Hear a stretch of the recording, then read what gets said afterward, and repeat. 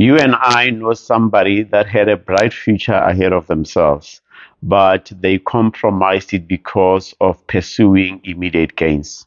They now belong to the dustbin of history, or they are used by someone to achieve their goals. Ours is not to laugh at them, but to learn from their experiences and start to integrate long term thinking in how we do things. My name is Botaki Hlalele from Dreams Made Possible. I still continue on this quest of empowering and educating others so that we can build a community of dreamers and people that build the greatest version of themselves.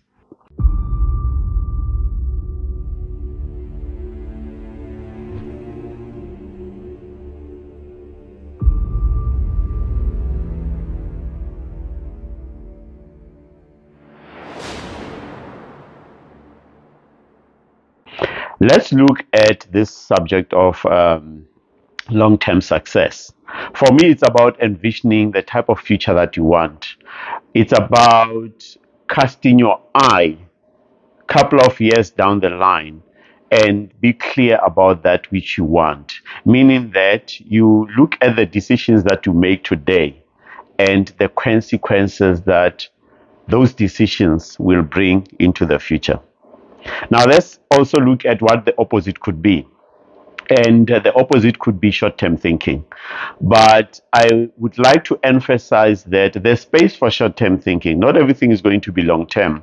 But for contextual understanding of what I'm teaching about today, I would like you to think about short term thinking in terms of immediate gratification impulsive decision making, but even to the extent of making reckless decisions, compromising the future that you deserve. So, that is the distinction that I would like us to look at. Why is long term thinking important? Because the future is guaranteed. If you are given life, the future is guaranteed, and that future is created today. Think about it. When you look at many nations, some of them have got 100 year plans, 150 year plans, so that they can secure the future of the coming generations. It is only poor and uh, poorly led nations where you find that immediate gratification, impulsive decision making takes away from future generations. But let's bring it at a personal level. Most people that are successful they have at least 10 to 20 year plans to secure the type of future that they want. Will things change in that time frame? Definitely things will change, but it is better to have a plan and adjust it in terms of the changes that are happening rather than to have nothing and then the changes that are guaranteed to happen out there happen and they hit you unexpected to a point where you cannot even rise up from the challenges that lives bring um, and guarantee to bring uh, from time to time. So let's look at how you can go about to build this and create and cultivate long-term thinking. I believe that everything starts with clarity. If you are not clear about anything, then it's going to be difficult for you to establish long term thinking. What is it that you want to achieve in the next five, ten years? Once you are clear on that, then you start to challenge your mind to think long term. But if you don't have that time frame, it becomes difficult. Some of you, my, I have actually heard somebody say, hey, you know, when I go to an interview and they ask me, uh, what, what, are my plans for the next five years? I say, guys, I don't even know what I need to do now. Um, which might seem as an innocent statement, but you need to know, even if it's not guaranteed that it will happen exactly that way, but you help your mind to start to think differently. And let me give you an example. There's a guy that I used to work with and um, we had a few conversations. And the first conversations that i had with him earned him a permanent lift with me. And i, I said to him but uh, sam i always found you here you hardly um, uh, uh, tell, tell me anything about how your social life was.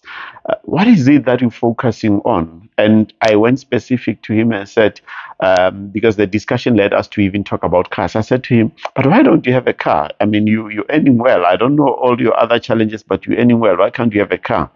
And he said to me, Mr. Hlalele, I honestly can afford a car, but it's a choice that I have made.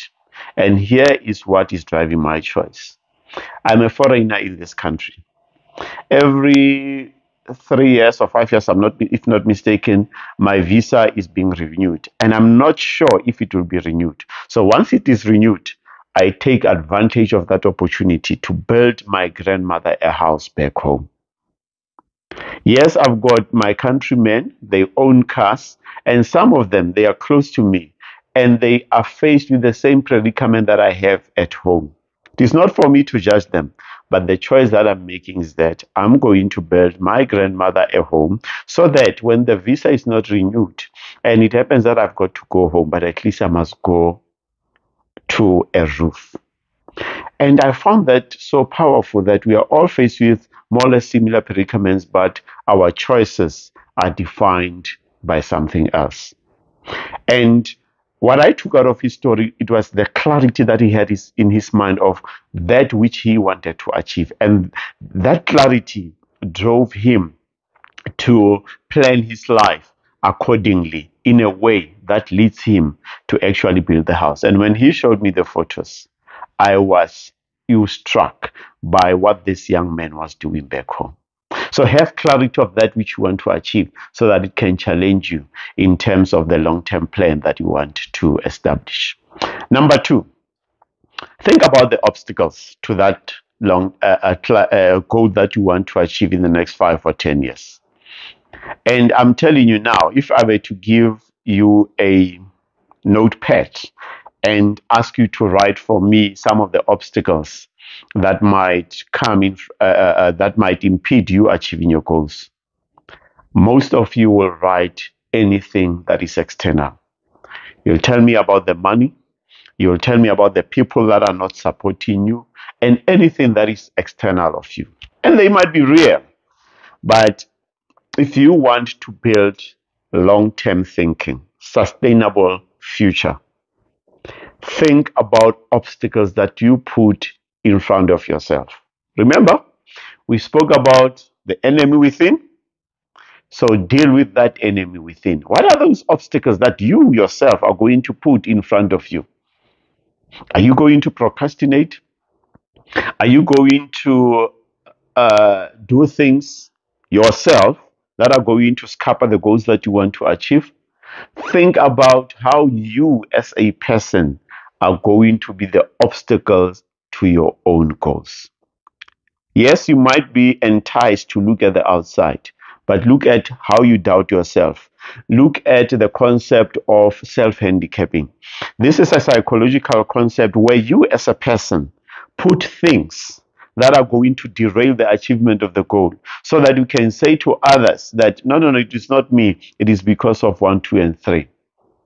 So think about that the self handicapping thing putting things in front of you that are going to disturb you or to derail you to achieve the goals that you want to achieve. So you are the main obstacle towards your own goals. So once you are able to deal with yourself, the external obstacles, as the African proverb says, if there's no enemy inside, the enemy outside can do us no harm. So those external ob- obstacles about money, they will still exist, but you will approach them with a clear mentality. Your fear, your doubt will not even stop you from thinking of possibilities of how to fund some of your dreams. It will help you to even reach out to other people and find the right peers and the right stakeholders that are going to assist you. And by no means am I saying it's going to be easy. But what I'm saying is start with yourself, remove yourself as an obstacle, because once you remove yourself as an obstacle, 80%, 90% of what you want to achieve is almost within reach. Number three, stay on the narrow path. The reason why most of us do not achieve that long term, those long term plans is because We want to be part of the masses.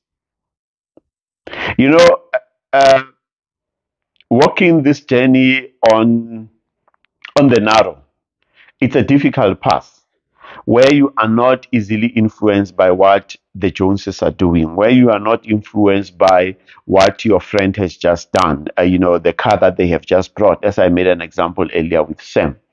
But saying, This is my path, I'm going to stay on this path because I don't know I really don't know how other people do achieve. You know, I can only go and ask them and then get motivation and inspiration from them. But at the end of the day, I'm my own cheerleader.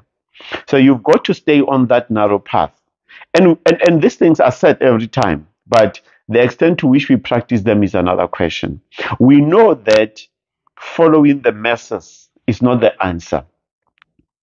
But being a minority amongst the majority, it is the most powerful that thing, thing that you can do that is going to help you to achieve the goals that you want to achieve. Groupthink has led a lot of people in jail because without thinking, people just scream. They don't even know where the suggestion came from and they just run behind the suggestion and the noises. But at the end of the day, they end up being in jail because they were following group uh, voices. So rather listen to your, the voice inside yourself and say, I'm going to stay on the narrow until I achieve my goal. Yes, there might be latest fashion trends. Yes, they might uh, be my friends might be changing cars um, one year, two years into driving them, but they live their lives. I'm going to stay in my authentic truth and do me. If you can learn to do you, I'm telling you, you will be on the right path to achieve your long term goals. Your long term thinking character will continue to be built and be sharpened for you to get to the goal that you want to reach. Equally related to that is the fourth point, which is about respecting and honoring the process. One of the challenges that we have as individuals is that we want to hasten the outcome. We want to bring the outcome now. It should happen now. And um, we now call it what? Microwave type of thinking. Everything of value goes through a process. How do you build iron? You take it through the furnace. It has got to go through that fire for it to melt until it goes through other processes and then it will be turned into iron. We equally the same. Whatever that we want into the future needs to go through a process. And that process is called patience, is called consistency, is called um, perseverance until you achieve that goal. You cannot want to say that you want to lose weight. Let me just make that an exa- that example, even though it's not much in the long term you want to lose weight and then you want to uh, do it in, in, in a week or two, it takes time for you to lose weight. Okay, I'm not a specialist in that area, but I know that it takes time. So we try to hasten the process. And that is the first thing. We try to hasten the process. But the second part of it is that we want to avoid the process. Going to the gym requires you waking up. And that's a process that most of us want to jump. How can you see yourself in a gym if you don't wake up?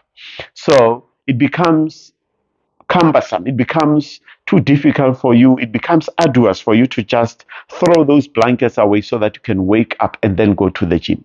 And for any goal, for any long term thing that you want to achieve, it takes a process. You've got to get to understand the process that it takes for you to achieve your goals. If your process means that you've got to go and knock three times, four times, five times um, with your investors, that's the process it takes. But sometimes people want to talk to one person, and then if they are rejected once, then it's the end of their goals. Long term thinking um, does not work that way. You've got to respect the process, go through that process. And yes, there will be learnings at the vital points of, of that process. And that's what you need to look at, monitor, and see how you approach the next step of the process. But you cannot wish the process away. Anything that surpasses the process ne- is never sustainable and it comes back to haunt you as an individual. The last point is you, the person at the center. For all of these four things to happen, for you to have clarity, to understand the obstacles that stands in your way, to not be part of the messes, to understand the process it takes you. And what I mean about taking you is the character that you build, the growth mindset that you build. You can never achieve all these four things without developing a growth mindset. And a growth mindset that says, I can think of possibilities. I believe that I can be able to make things happen. I believe that I can conquer my fears because even people that are successful, they they still experience fear, but the difference is that they conquer those fears for them to be able to achieve the things that they want to achieve. They become students of life. They become students of themselves so that constantly they build on to sharpen the skills and the strengths that they require to, st- to help them stay on this path of long term thinking. There is no way that you can be a long term thinker if you are not a student of your own self. Know yourself. Understand your triggers. Understand your uh, what causes you doubt. Understand what causes you fear. Understand what skills you need to sharpen for you to be able to get to the goal that you want. Unless you do the four and the fifth point, you will struggle to become a long term thinker. But I want to close on the point that I made earlier about short term thinking and long term thinking and the things that we need to achieve in the long term uh, uh, in the long term. So if you you will fail if you think that everything that you're going to do is going to be about long term. You need to balance. The, it does not mean that if you want to buy a car, then you must deny yourself to go out with your friends. Maybe it's about how you do it. And, and, and I'm saying this very, very carefully because, uh, and I don't want to seem to contradict myself. When you do things from a point of desperation, your goals are not going to um, to see the light of day. You are even going to hate the process that you need to go through. But if, if let's say you are used to go twice, three times out with your friends, maybe go once a month or once every second month. You know the circumstances. But the point that I'm trying to drive is to say it does not mean that you need to deny yourself certain things because once you start doing that, that is the best way, that is the most brilliant way of, of, of, of ensuring that your long term goals will never see the light of day. So learn to balance, but don't forget what your long term goal is because your short term gratifications should not eat into the future that you want.